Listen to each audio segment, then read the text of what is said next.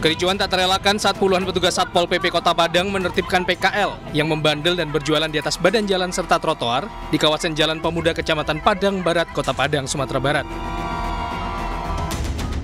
Sejumlah pedagang yang menolak ditertibkan justru mengamuk dan memaki petugas. Guna mencegah terjadinya bentrok, penertiban terpaksa ditunda untuk sementara waktu.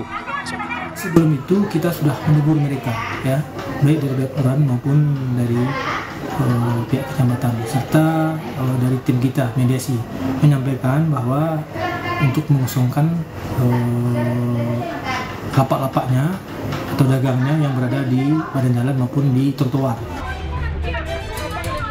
Sebelumnya pemerintah setempat sudah mengeluarkan surat peringatan tidak boleh berjualan di atas badan jalan. Hal ini sesuai dengan aturan daerah tentang ketertiban umum. Dari Padang, Sumatera Barat, Budi Sunandar, iNews melaporkan. Awak lagi jalan benar. Beralih ke informasi selanjutnya, pemirsa Presiden Joko Widodo melepas parade rider MotoGP yang akan berlaga di ajang balapan MotoGP Mandalika 2022.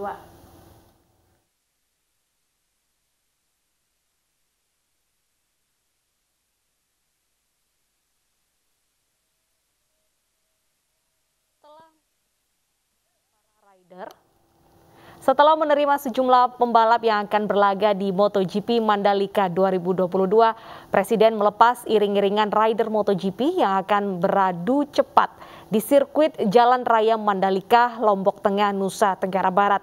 Setelah dilepas Presiden, para rider MotoGP menyusuri kawasan Medan Merdeka, Hotel Indonesia, hingga Tugu Monumen Nasional.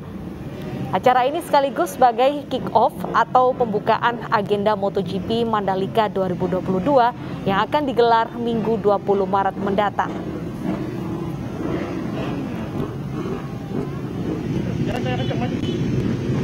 Parade atau arak-arakan rider MotoGP dimulai dari Istana Merdeka Jakarta usai acara audiensi dengan Presiden Presiden Joko Widodo akan memberangkatkan rombongan rider MotoGP yang akan menuju kawasan MH Tamrin hingga Bundaran Hotel Indonesia.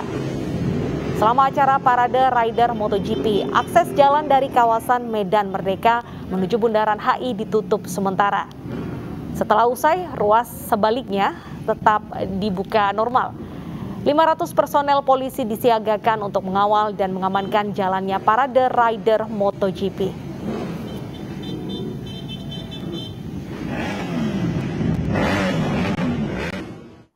Pemirsa, momen spesial terjadi saat Presiden menjamu para rider MotoGP di Istana Merdeka Jakarta.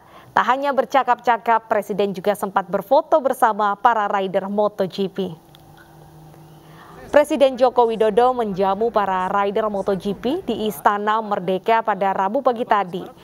Para rider sempat bertatap muka sejenak bersama Presiden. Dalam suasana santai, Presiden sempat bercanda bersama para rider dunia.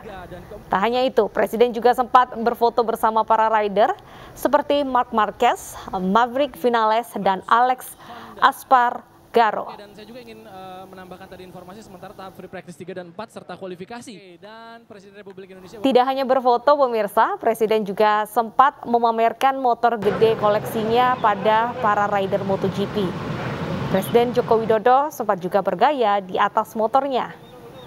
Presiden memang dikenal menggemari bidang otomotif dan memiliki sejumlah koleksi motor rakitan Oke, anak bangsa. Kita bersama bahwa Presiden Joko Widodo juga memiliki... Tadi sudah kita lepas bersama-sama para pembalap dari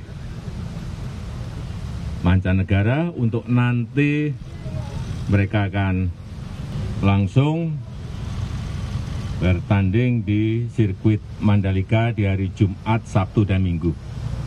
Dan kita tahu, Alhamdulillah juga bahwa uh, target uh, tiket yang telah kita berikan 60 ribu, Alhamdulillah semuanya sudah terjual dan kita harapkan ini menjadi sebuah uh, brand baru negara kita bahwa Indonesia sekarang telah memiliki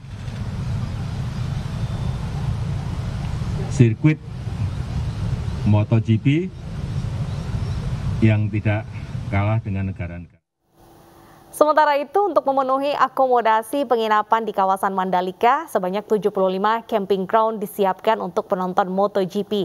Camping ground dilengkapi dengan sejumlah fasilitas serta keamanan yang terjamin. Sekitar 75 tenda atau camping ground disiapkan untuk tamu yang ingin menyaksikan gelaran MotoGP tanggal 18 hingga 20 Maret. Camping ground yang berada di kawasan ekonomi khusus Mandalika ini memenuhi akomodasi penginapan yang diklaim sudah penuh. Ada dua tipe yang disediakan pemirsa, yaitu tipe Santalum dengan kapasitas 2 hingga 3 orang.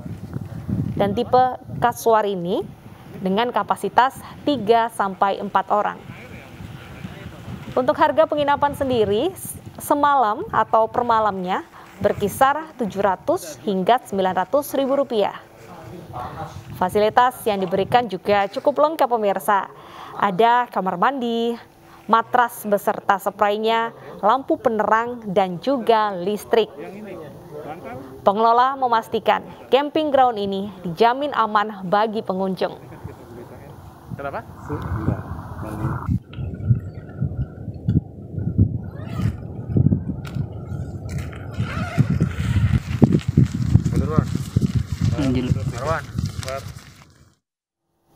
Pemirsa gempa berkekuatan 5,5 magnitudo melanda kawasan Sukabumi, Jawa Barat. Warga panik merasakan gempa termasuk di Jakarta.